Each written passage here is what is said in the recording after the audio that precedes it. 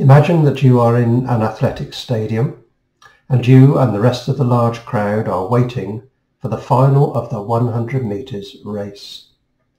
The tension has been building all afternoon. The runners come, come out into the stadium and start limbering up. To be honest, the winner is almost a foregone conclusion. One person is dominating that particular event and they're almost certain to win it. Equally, there is another competitor who in all likelihood will come last. They have not trained as much as they should have done, and as a result they are not as fit as they need to be.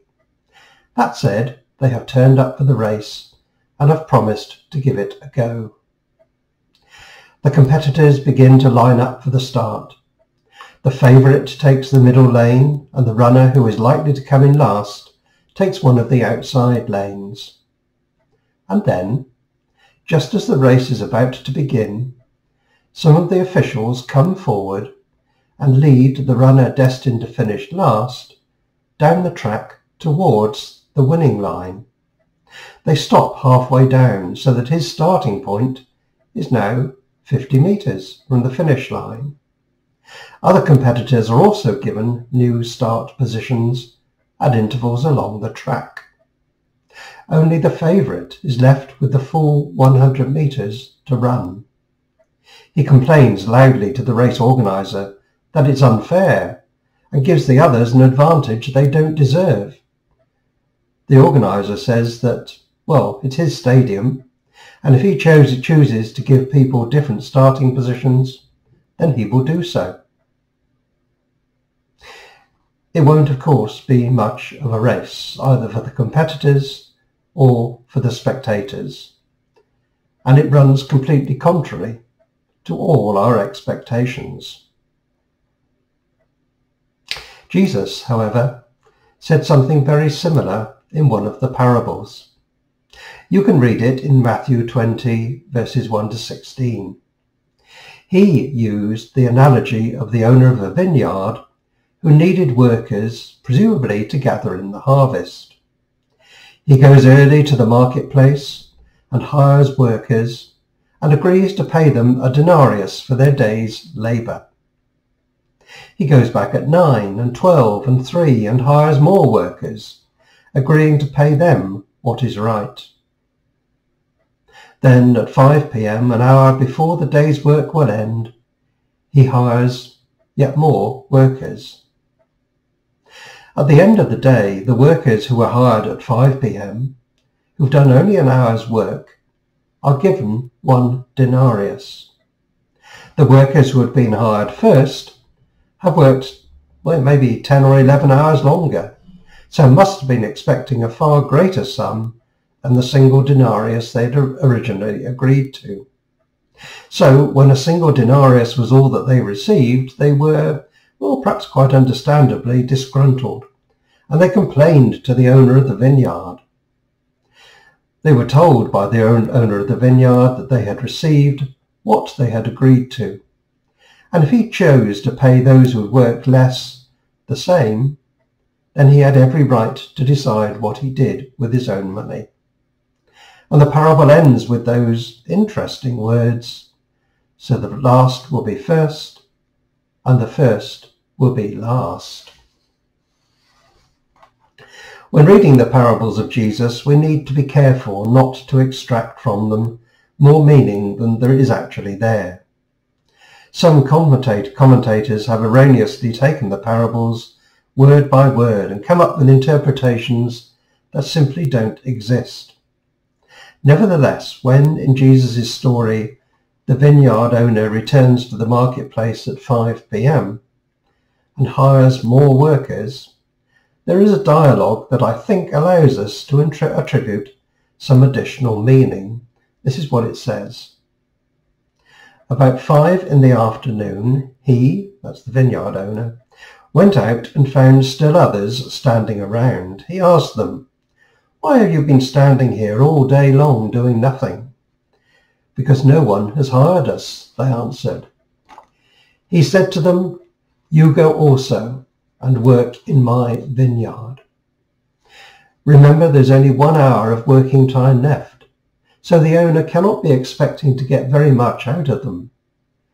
Yet we know they are to receive one denarius for their labour, the same as those who have worked all day. So some commentators interpret that to mean that the vineyard owner had compassion for them. Compassion. Well, that's an interesting word, but one perhaps we need to take seriously.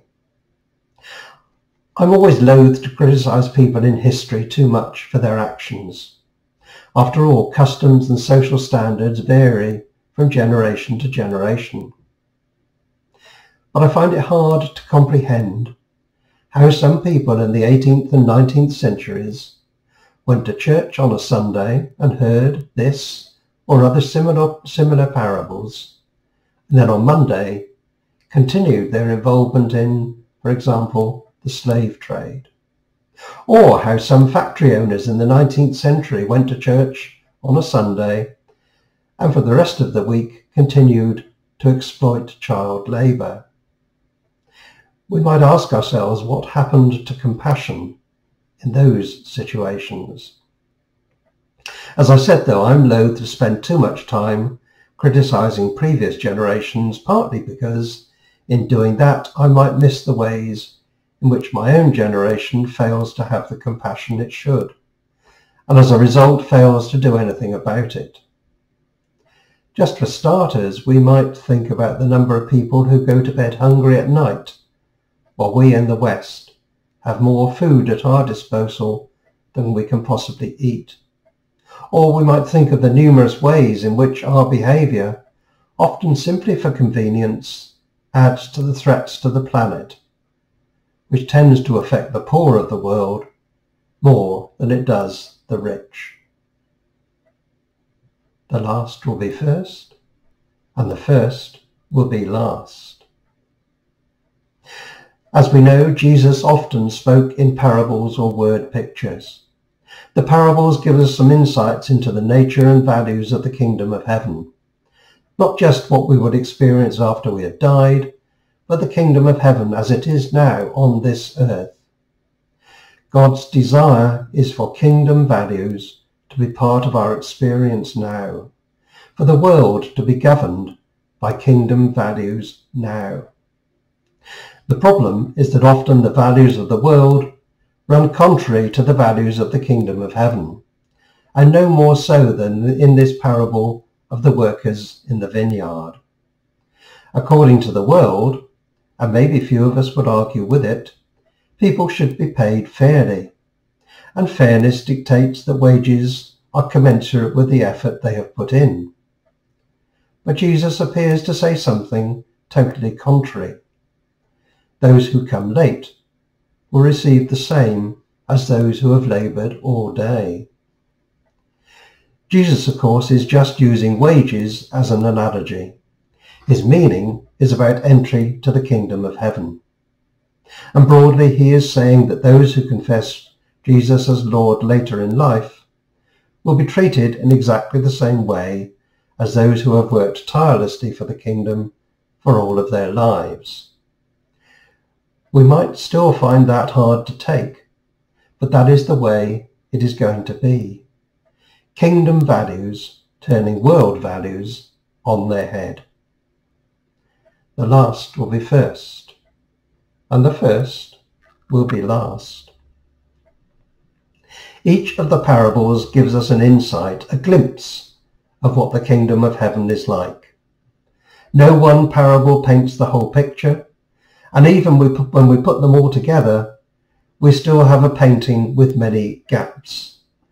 Gaps that will only be filled after we have left this earth.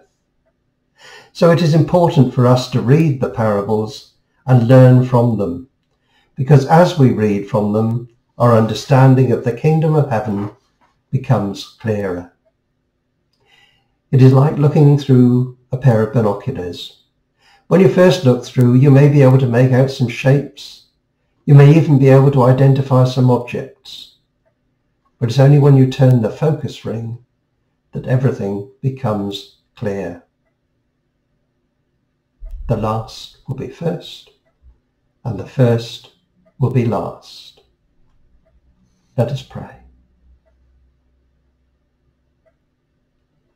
Father, we believe that you have called us to journey together through life and that you are with us on the journey.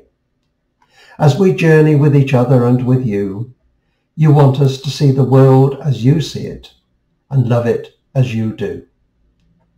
Help us learn from you along the way, becoming more like you and together growing your kingdom as we live out your values. We believe that love is the priority and the core of your kingdom. Open our eyes and hearts to your love for us. Help us to see and love as you do. Equip us to love each other and your world. Help us to practice love by listening, encouraging and helping. We want to welcome others as you welcome us, with arms wide, running to meet us and embrace us. Help us to put welcome into practice, encouraging others to join the journey. Above all, may we live out our lives as Jesus lived, with compassion, always aware of the needs of those less fortunate than ourselves, both near and far. In Jesus' name we pray. Amen. If you've enjoyed this very brief look at one of the parables, then you may like to know that for four consecutive weeks, beginning on the 11th of September, the Sunday service, Sunday morning services at Balderton Methodist Church will each be looking at one particular parable. More information will be available later, including details of which parables we will be focusing services. You never know, you might see things you've never noticed before. In the meantime, there will be another 7 for 10 next Thursday, and please join us next Sunday for worship at 10.30, either in church or online. God bless you. Goodbye.